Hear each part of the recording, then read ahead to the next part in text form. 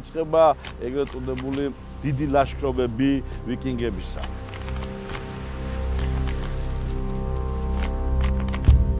მერვე საუკუნიდან განსაკუთრებით მე-19 საუკუნეში დაიპყრეს როგორც ინგლისი, ასევე თითქმის მოარბიეს მთელი დასავლეთ ევროპის ტერიტორია.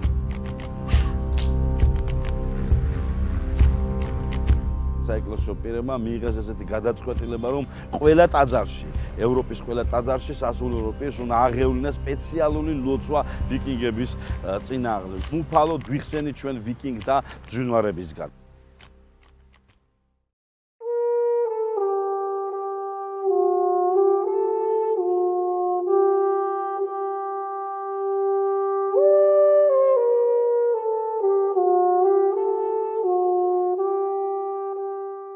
უტყუარად დგინდება, რომ ნამდვილად იყო ასეთი შორეული ექსპედიცია ვიკინგებისა, როგორც არის საქართველოს და კავკასია, იმიტომ რომ გვაქვს ქართული წყარო, მატიანე ქართლისა, რომელიც მოგვითხრობს, რომ მე-11 საუკუნის 40-იან წლებში საქართველოს მეფე ბაგრატ მეოთხემ მოიწვია ვიკინგების 3000 კაცი და დააყენა ბაშს. და მოვიდეს ვარანგნის 3000 კაცი და დააყენა შუას გარე და მოიტანა თანა 700 კაცი და მოვიდა ბაგრატ 700-თა ლაშქრითა და ამით ვარანგითა. მესხმი ვერღარა მოილოდინეს მოვიდეს და შეიბნეს თავს ასახსირეთის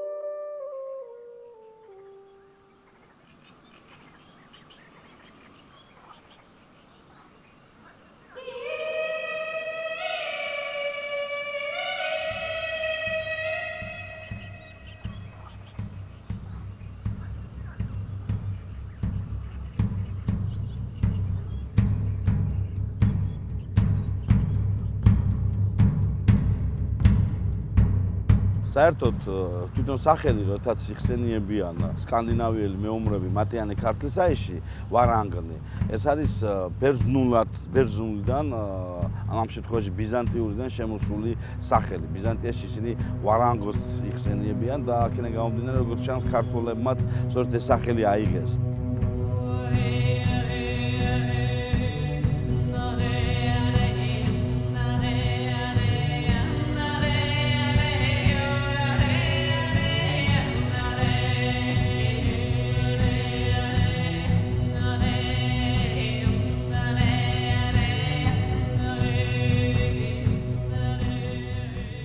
საიდან მოხდნენ ეს ვარანგები? ვარანგები მოიხსენებათ ეს. ნორმანები არიან, არა წამოსული ჩრდილოეთიდან, ევროპიდან, ძალიან გამორჩეული თავისი მაღალი საბრძოლო თვისებებით ეს ხალხი. და რუსებთანაც ჰქონდათ მათ ბრძოლა და ჩავიდნენ და კონსტანტინოპოლსაც ებრძოდნენ, კონსტანტინოპოლის ასაღებათაც იბრძოდნენ. აი აქედან 3000 კაცი მოდის საქართველოში, მაგრამ ამ 3000 კაციდან ბაგრატმა ლიპარიტის წინააღმდეგ აი ბრძოლაში, რომელიც სასირეთის ჭალასთან მოხდა, ეს არის დღევანდელი კასპის რაიონში მტკვრის პირას ეს სასირეთის ჭალა. იქ მარტო 700 კაცი წამოიყვანა. როგორც ჩანს, დანარჩენები აი ბრძოლების შედეგად ალბათ დაჭრილები იყვნენ, ყოველთვის ბრძოლისთვის გამოუსადეგარნი იყვნენ და ამიტომ გამოიყენა მარტო 3000-დან 700 კაცი. და ამასაც აღწევს ჩვენი მემატიანე, რომ ვეღარ უძრეს ბრძოლას ვარანგთაო, ჯერ ისინი არ დაელოდნენ მესხების ლაშქარს და ბაგრატი თავისი შიდა ლაშქრით, ანუ შიდა ქართული ჯარით იძულებული გახდა ჩამომულიყო ლიპარიტის წინააღმდეგ ბრძოლაში და დამარცხდნენ ისინი ამ ბრძოლაში.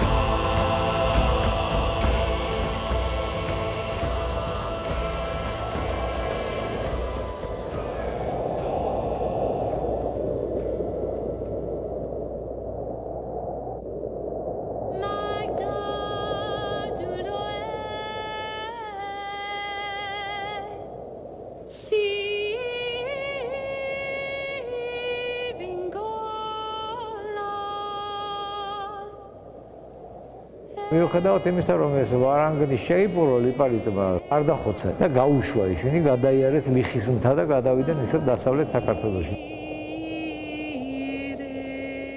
ვერღარა უძლეს ბრძოლად ვარანგთა. მის ძნა ლიპარიტ პაშტნი და წინა მათსა პურსა უკაზმიდეს და ეგრეთ ლიხნი გარდავლეს.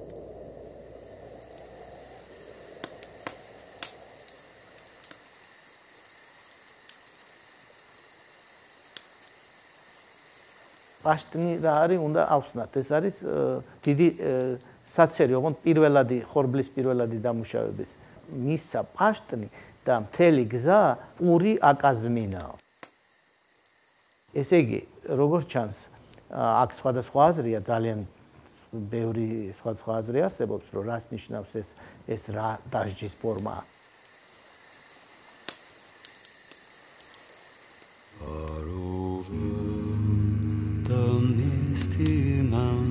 mountains cold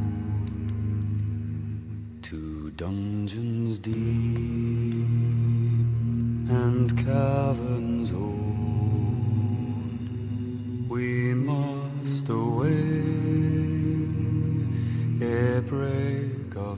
საქმე ის არის რომ შეიძლება პურის ლეწვა თუ სხვადასხვა საქმიანობი არის მამაკაცთან დაკავშირებული თუმცა პურის გაცხილვა ცალსახად ხალის საქმეა და ამაზე არ არქა თვითონ ადგილობრივები აი სასირეთში იქ არის ბარნაბან ტკანი ეს ერთი ზონაა ეს არის თეძმის ხეობა და აი ამ ტერიტორიაზე მე ვიწერდი ამ ამ ქალბატონებს გადმოცემა და ისინი ამბობდნენ რომ კი აი ჩვენ ქალბატონები ვთქვათ დავსხდებით და პურს ცხრილავ და ეს არის ქალის საქმიანობა. როგორც ჩანს დიპარტმა სწორედ ეს განაჩენი გამოუტანა.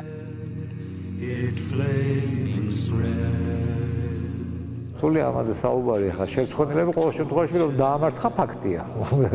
და არ დახოცა და გაუშვას. რომ მოწყალედ მოექცა მათ ლიბარით ბავაში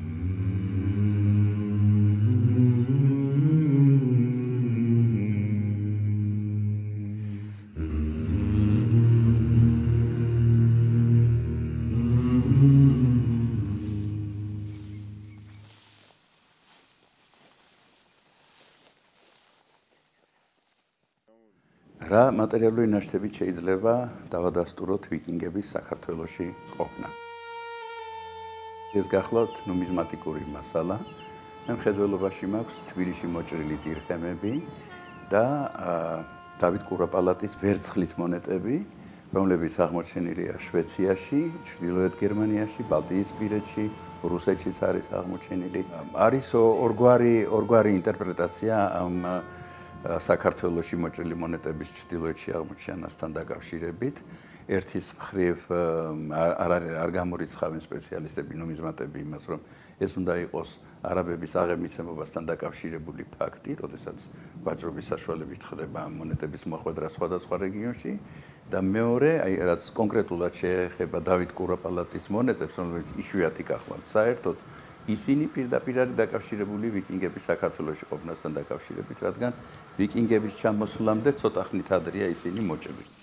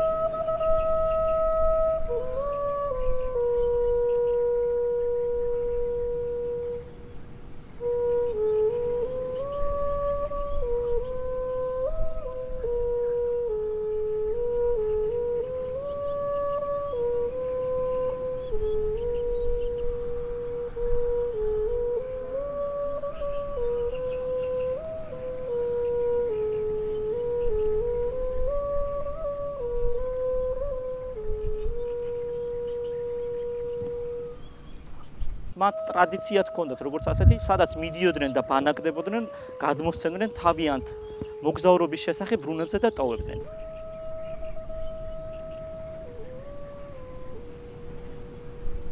გამოდენიმე წელიწადია აღმოჩნდა აქ გეგუთის სასახლეში და რუნული დამწერლობა, რომელიც ვიკინგები აქტიურად რომელსაც ვიკინგები აქტიურად გამოიყენებდნენ. კვეთრად ჩანს დაახლოებით 15 სიმბოლო, რომლის გარჩევაც ადვილად შეიძლება. დაახლოებით 5 სიმბოლო წაშლილია და ზუსტად ვერ ხდება იმ ამოკითხვა მისი და დაახლოებით ვფიქრობთ, რომ 10-მდე სიმბოლო კედელში უნდა იყოს მოქცეული, რადგან ეს ჩაშენებული ქვა არის და ბუნებრივია ნახევარი საკითხო შეუძლებელია.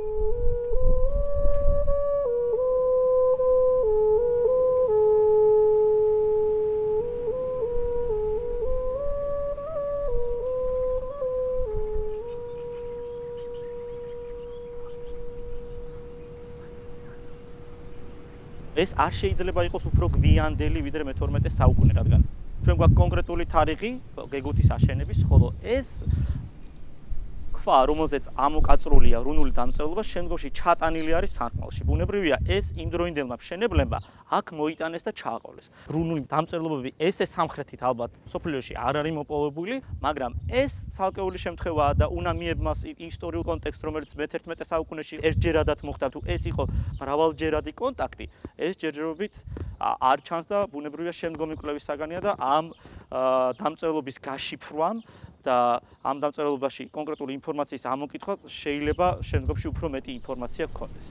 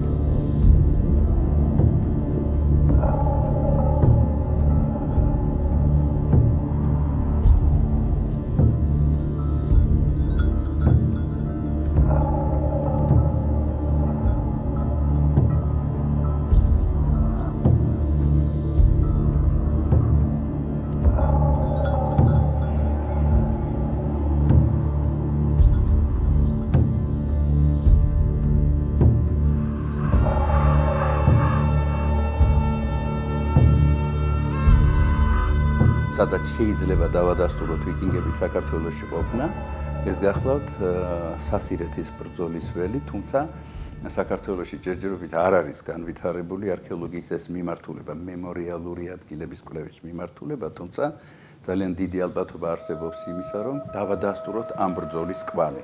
და მესამე კატეგორია, რომელიც შეიძლება ითქვას, რომ თვალხილულია, თუმცა გარკვეული ალბათობით, ეს გახლავთ სოფელ ბაშის მიდამოებში არსებული არქეოლოგიური ნაშთები.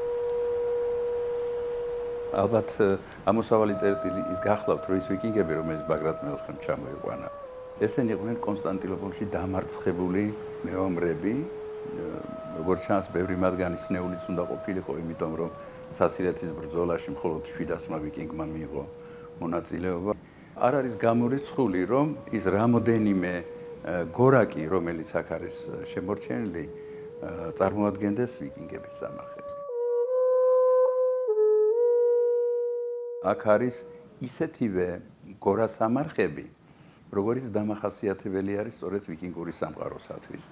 მე მხედველობაში მაქვს ის სტანდარტული ეგრეთ წოდებული ორგანული სამარხები, რაც იმართებოდა ჩვეულებრივ აა სკანდინავიის ქვეყნებში, მაგალითად შვეიცარიაში არსებული გორასამარხები აბსოლუტურად იდენტურია იმასა, რაც ბაში დავადასტურეთ ჩვენ.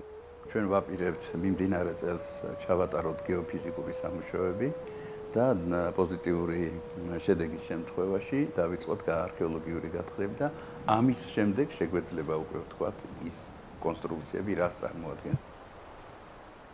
ამას გარდა არსებობს კიდევ დოკუმენტური ასეთი წყაროები, როგორიც არის შვედეთში რა ნაპოვნი რუნიული წარწერებიანი ქვები.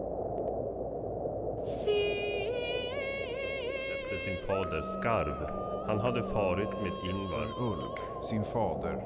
Han var på vandringen fjärran efter guld.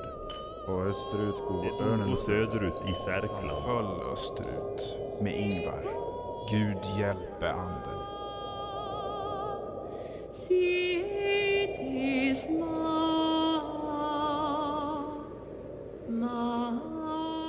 ყველაზე სრული არის ასეთი წაწერა, რომ ტოლამ, ეს არის ქალი, დედა, აღმართა ეს ქვა მისი ძის ჰარალდისათვის, რომელიც იყო ინგვარის ძმა და რომ ისინი უშიშრად გაემართნენ შორს ოქროსათვის და აღმოსავლეთში გახდნენ არწივების საკვები. ანუ დაიღუპნენ და ბოლო ფრაზა არის რომ ისინი გარდაიცვალნენ სამხრეთით სორკლანდში.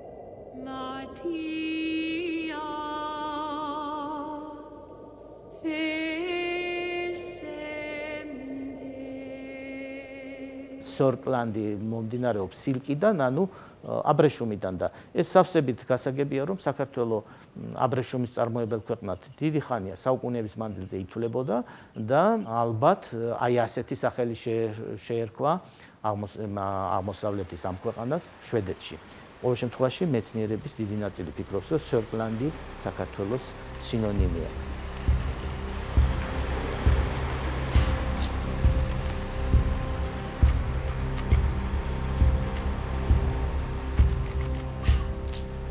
მეორე თვითონ სკანდინავიაში არის გავრცელებული ასეთი საგა ინგვარ შორს მოგზაურის შესახებ.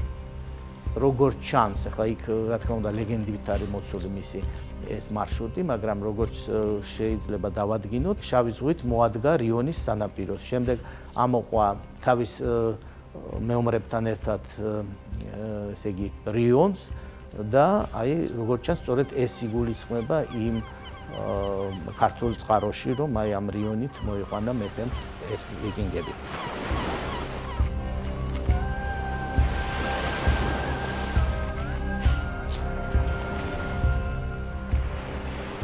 ბოლო ნაწილში ნათქვამია რომ ბევრი მათგანი დასაფლავებული იქნა იქვე სორკლანდში და კუტაპოლიში თვითონ ინგვარია თითქოს დასაფლავებული ტაძარში, რომელიც ყველაზე დიდი ტაძარი იყო, მარმარილოსი და ნუ ზოგი ფიქრობს კიდევაც ბაგრატ მესამის ზოგი მეცნიერი, რომ ეს ბაგრატ მესამის ტაძარი ხომ არ არის.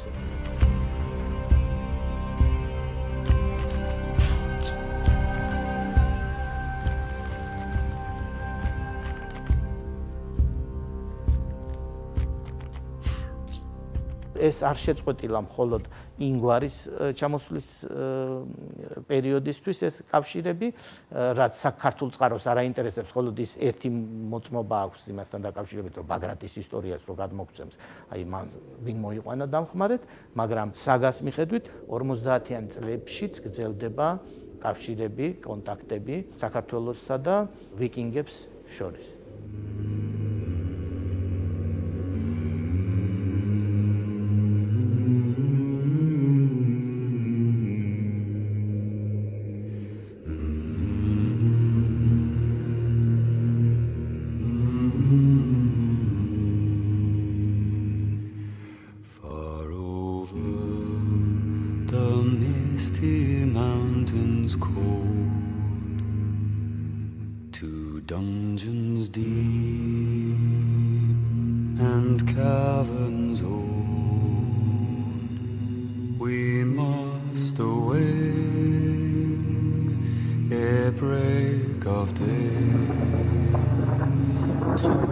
find our long forgotten gold.